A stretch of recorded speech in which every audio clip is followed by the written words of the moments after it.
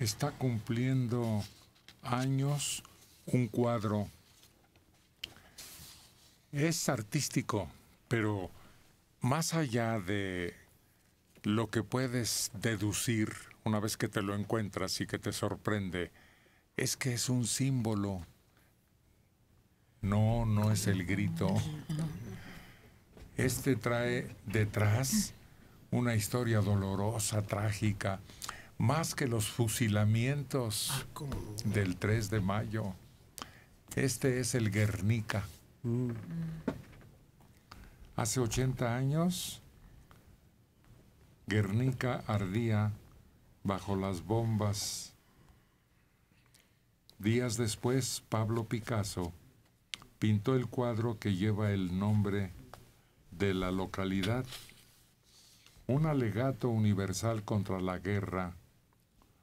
El cuadro vuelve a estar en primera actualidad, ya que a partir del 4 de abril, de abril protagonizará una exposición dedicada a su autor en el Museo Reina Sofía de Madrid, donde se encuentra desde hace 25 años.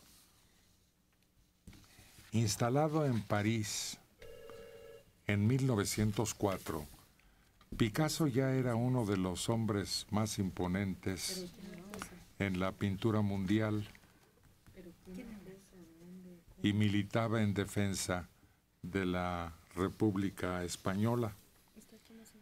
Confiado al Museo de Arte Moderno en Nueva York en 1939, el año que Franco gana la guerra, permaneció 40 años en suelo norteamericano. Picasso, afiliado al Partido Comunista Francés, había dado la consigna de que el cuadro solo podría regresar a su país natal cuando se devolvieran al pueblo español las libertades que se le habían confiscado. En 1981, seis años después de morir el dictador, el cuadro al fin viajó a una España y su primera ubicación fue muy peculiar. Fue al Museo del Prado,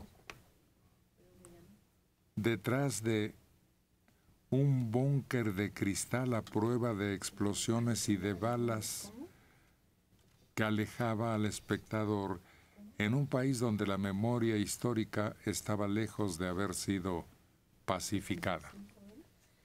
Sí, y representa eh, abstractamente los terrores del momento de un bombardeo. Los animales muertos, la gente horrorizada gritando por las ventanas, incendios, todo, todo. Claro, es abstracto. Pero se hizo una versión realista que estaba en esta eh, librería en Reforma, ¿Aquí? enfrente de Excelsior. Pero como realista. Sí, eh, eh, donde hay un caballo, hay un caballo real. Donde hay una persona asomada a una ventana, ponen una persona asomada a una ventana. Donde hay una lámpara, ponen una lámpara real. ¿Y de qué tamaño fue? Pues el tamaño del Guernica. Ahí lo ¿Del tenían original? Los, en la librería Reforma. Es una curiosidad nada más. Pero sí es eh, pues toda una, una denuncia terrible porque Alemania probó sus bombarderos En España. y motores nuevos eh, bombardeando un pueblo que no tenía ninguna eh, validez estratégica. ¿no? Fue un laboratorio de su armamento. Sí. Y es, y es en blanco y negro. Y gris. Pues 80 años ya. Es invaluable, ¿no? Es de esas obras que no alcanzan sino hasta el infinito una consideración económica. ¿De qué tamaño es?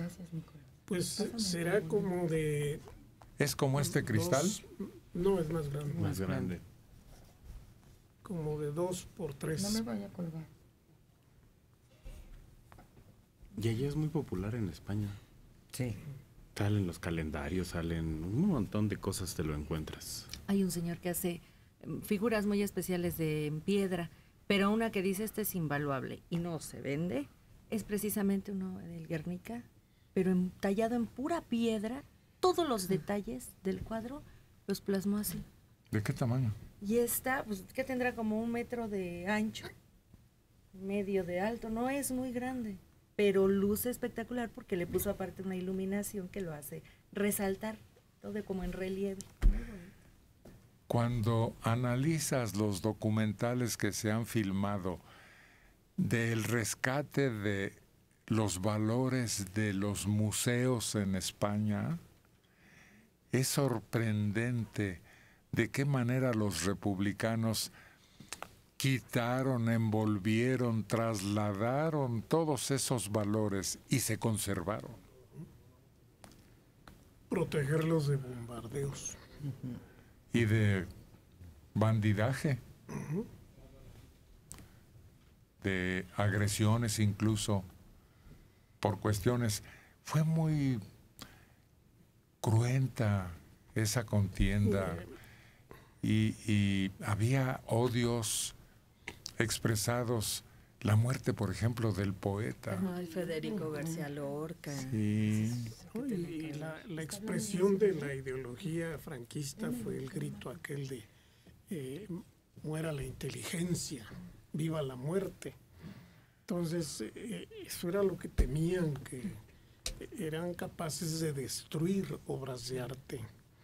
También los republicanos, porque los republicanos atacaban iglesias y destruían obras religiosas. Pero no eran los republicanos, era la gente que se había encendido y que estaba gozando de una libertad que antes tenía sojuzgada.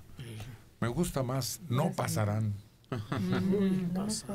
Aquí se acaba de subastar esta semana un cuadro muy importante en México ¿Con quién vive usted?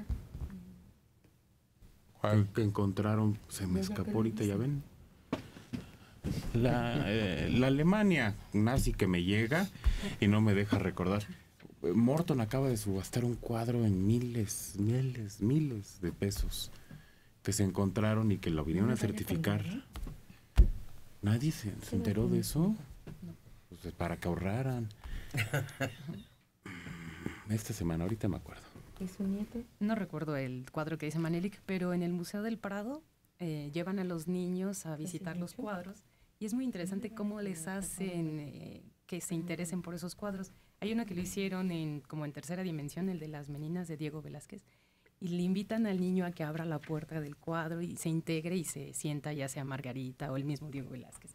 Y pasan y los fotografían. Es, para mí fue muy interesante, no sé si aquí ya en México lo estén haciendo, pero ellos se integran, les ponen lentes, les jalan un hilito. No sé si en la Guernica lo también lo hagan. Y Pablo Picasso vivió tres, tres épocas muy marcadas, pues ochenta y tantos años vivió. El cubismo y otras dos que se me escapan, muy marcadas con la el música. y muy periodo la azul y el periodo rosa, Gracias. que eran pero muy bonitas. El Guernica. realistas. Guernica. El. Guernica, El no la Guernica, Guernica. gracias. Y en el Museo del Prado también hay una, o ah, hubo una exposición muy curiosa. Ponían las meninas de, es- Velázquez. de Velázquez y las meninas de Picasso. La Gioconda De Leonardo. de, de Leonardo y la Gioconda de Picasso. Estaba las dos obras A ver. Una sola exhibición. El Goya, en sus dos cuadros, la encuerada y la Sí. La, vestida. la maja vestida y la maja El Museo del Prado desnuda. es el tercero más hermoso del mundo. Es una También, no es poca cosa, ¿no? Es que no es museo, Mm. es pinacoteca. Bueno, es que hay muchos. La casa de Picasso es una cosa, dicen los que han ido, sensacional. El tamaño exacto aquí está 776 centímetros cuadrados. No, no, El tamaño 776 centímetros y el ancho 349. 7 metros por Siete 3 y por medio. tres. Es grande. Casi ocho. Sí. Por casi tres y medio. Héctor Zavala Rosales, de 67 años, de Cuauhtémoc. ¿Cómo se llama la pintura de la que estaban hablando? Hablamos de varias, ¿no? No, pero sobre todo del Guernica, que es una conmemoración de Pablo Picasso al bombardeo del pueblo vasco de Guernica por parte de la Luftwaffe. Y sí es importante eso. Yo, a mí me pasó. No sabes que es blanco y negro. Buenos días, Radio Centro. Pensé que, que así hacían las reproducciones. Pensé que las copias eran las que eran blanco y negro.